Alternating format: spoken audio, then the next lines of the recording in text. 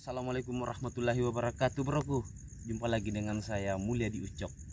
Nah, Jadi malam ini saya mau berburu kepiting lagi broku Dan malam ini saya cuma memakai empat bubu Dan ada yang satu yang spesial yaitu Bubu payung bro.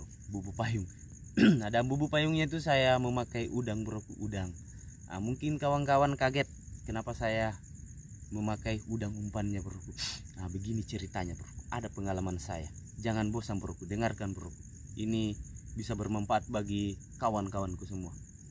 Nah jadi saya kan punya kawan banyak apa pekerja empang dan pengalaman saya juga bro. Nah jadi udang itu mempunyai sifat kanibalisasi bro. Sebab tukang empang-empang itu kan sering memelihara udang. Jadi kapan udangnya ada satu yang mati udang yang lain itu harus dipanen bro. Harus dipanen kapan tidak yang lain itu bakalan mati? Karena kenapa udang yang mati tadi itu kena penyakit terus dia mati bro. Ha, kapan udang yang lain itu memakan kawannya yang mati yang lain bakalan ikut mati bro. Nah, jadi ini sangat bermanfaat untuk kawan-kawan. Nah, mudah-mudahan bisa di pakai untuk bubunya broku dipasangi umpan apa nih umpan udang udang nah jadi kita itu pakai umpan udang ini mudah-mudahan kita dapat broku ya. Karena udang itu mempunyai sifat kanibalisasi. Jadi saya pastikan pasti itu bubunya dapat broku nah dan ada yang miris yang saya alami broku nah, kemarin itu kita sudah kena badai waktu berburu kepiting sama Umar Sil nah, jadi pas malamnya itu broku malam larut malam baru kita pulang itu pun kita basah-basahan broku pulang ah ini broku ada satu kecolongan umpan yang saya tidak keluarkan. Dan itu berada di deretan ketujuh atau ke delapan broku itu. Saya sudah nggak tahu broku ah, terus paginya saya sudah mau bersihkan itu bubu. Oh ternyata broku karungnya sudah robek sampai yang ke dalam-dalam itu robek semua broku sampai itu yang bubu yang punya ikan nah, sampai di situ dia robek. Dan pelakunya adalah tikus bro nah ini dia bro contohnya bubu saya yang robek. Robeknya luar biasa banget bro luar biasa besar robeknya. Nah, jadi yang saya pasang ini bubu empat itu ada juga yang saya benahi sedikit bro ada yang saya benahi saya jahit pakai ini senar dan kita bisa gunakan malam ini. Nah, dan kalau kawan-kawan mau dan mudah-mudahan ada kesempatan saya saya akan videoin cara repair bubunya bro. Cara membuat memperbaikinya lah bubunya. Oke bro. Mudah-mudahan malam ini kita dapat dan bubu payungnya juga kita dapat. Oke. Oke bro. Kita langsung saja ke sana. Pasang bubunya terus kita tunggu. Oke.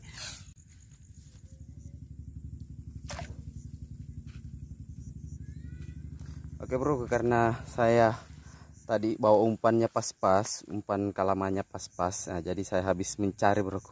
Dan kita mau tarik bubu yang itu karena kita lewati bro. Ah itu di bawah bro itu tuh tuh tuh tuh tuh tuh tuh ularnya bro. Ah ini besar ini ularnya bro. Nah, ini bro. Talinya bro. Allah Akbar. Kita coba tarik bro ya. Bismillahirrahmanirrahim. Wih, wih bro, wih, Alhamdulillah broku. Ha, wih bro, oh udah kelihatan. Ah, ini bro, nah nah nah, wih besarnya broku. Uh, wih broku.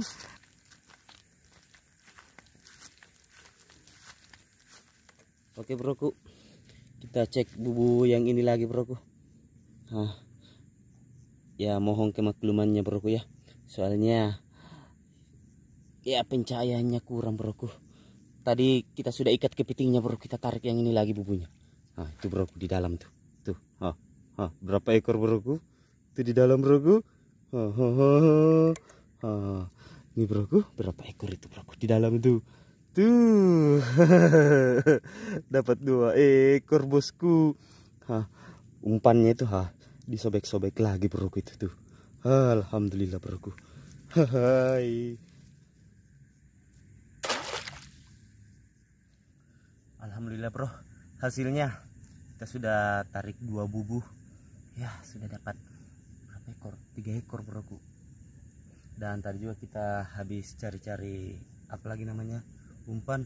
Kita sempat melihat uh, kepiting satu broku tapi ya namanya bukan rezeki broku lepas itu.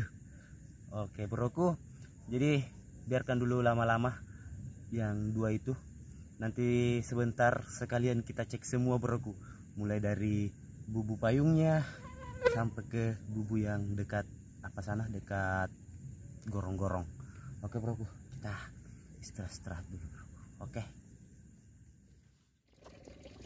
Jadi kita mau tarik ini broku bubu ini bubu payungnya ini yang pertama. Nah bismillahirrahmanirrahim. Oh kurang fokus broku oh no. Oh no. Ah bismillahirrahmanirrahim. Apakah ada broku ah Allah Akbar. Wih bro. Banyaknya bro. Nih bro. Oh, oh. Bro. Nih nih nih nih nih di dalam bro ini. Ah, tunggu dulu bro ya. Aduh. Ah Nah broku nih. Oh. Oh. Semuanya ada di dalam broku. Ada udang, ikan. Ini tempat bukanya broku. Sebelumnya saya sudah sobek. Alhamdulillah. Apanya nih? Bubu. Anunya bubu apanya yang baru nih? Bubu barunya. Nih. Nih udangnya broku. Nah, itu banyak dapat udang bro. Nah, ini tahu ini tadi ikan apa ini?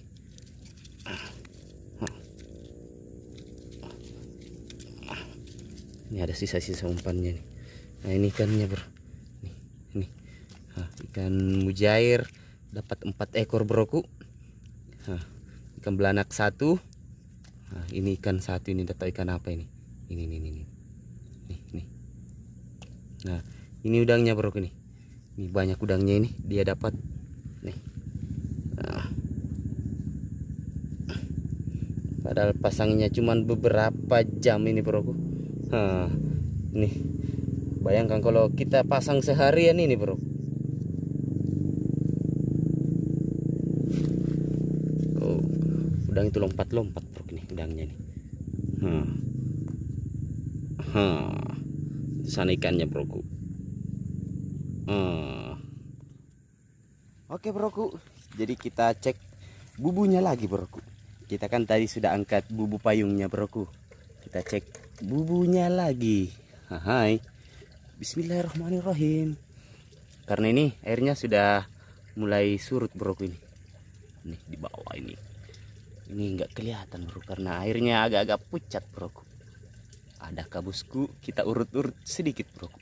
Wih, bosku. Buh, luar biasa. Alhamdulillah, broku. Nih, nih, nih, nih, nih, nih. bro, dapat lagi, broku.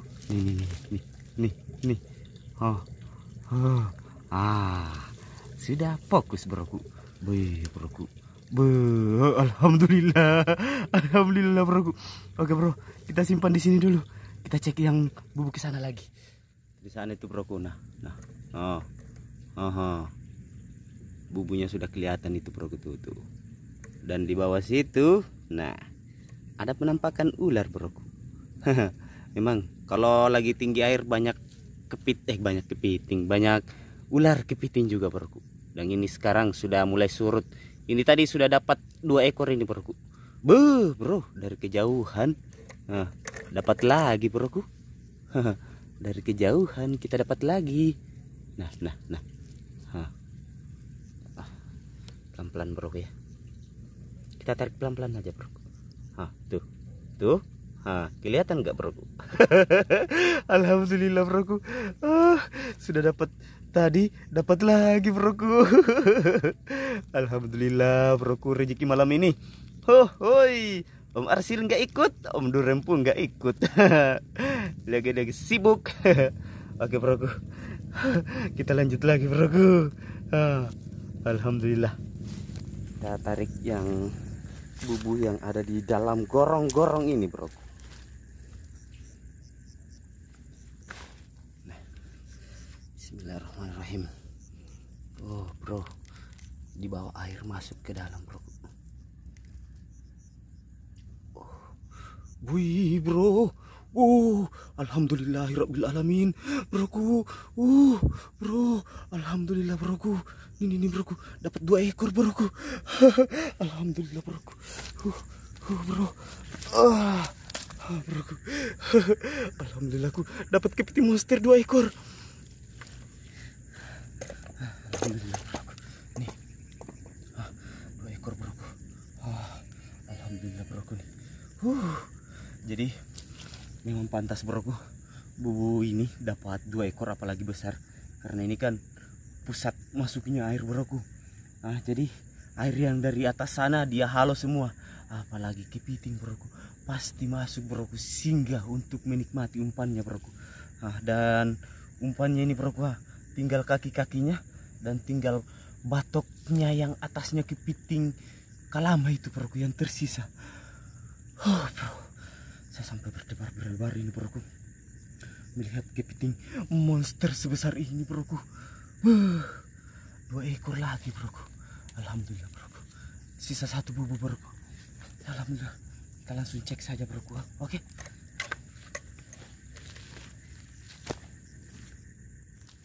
Nah, tadi nih sudah dapat ini broku yang kepiting lima jari broku. Oke kita tarik lagi broku yang terakhir ini broku. Bismillahirrahmanirrahim. Alhamdulillah lagi nih broku Dapat ikan broku Alhamdulillah Dapat ikan mujair Oh Dia makan itu sana broku Ininya Aduh kurang fokus. Ini ini ini. Yang dia makan itu broku Sari-sari apanya nih? Sari-sari ini. Sari-sari Ini sari-sari anunya nih apa namanya? Sari-sari kepitingnya ini. Alhamdulillah bro. Terciduk. Ah, ini kepit eh, kepiting. Ini inilah dua jari ini bro. Ini bagus untuk umpan ini. Oke kita kumpulin di sana kepitingnya bro. Terus kita ikat semuanya. Alhamdulillah bro. Rezeki malam ini sungguh sangat luar biasa bro. Dan pakai umpan kalama ternyata juga jitu broku tidak kalah dengan umpan nyom marsil. Nah, dan ini dia broku hasilnya untuk kepitingnya broku nah, karena saya sudah mengikatnya broku nah ini. Nah, dan yang saya ikat ini cuman yang gede-gede broku dan alhamdulillah juga broku bubu payungnya tak terduga hasilnya broku ternyata dia banyak menciduk ikan apalagi udang bro. Alhamdulillah bro. Nah, dan kepiting yang dua tadi bro yang kecil-kecil itu sisa satu bro yang saya rilis. Soalnya dia kabur satunya bro dari tempatnya tadi itu.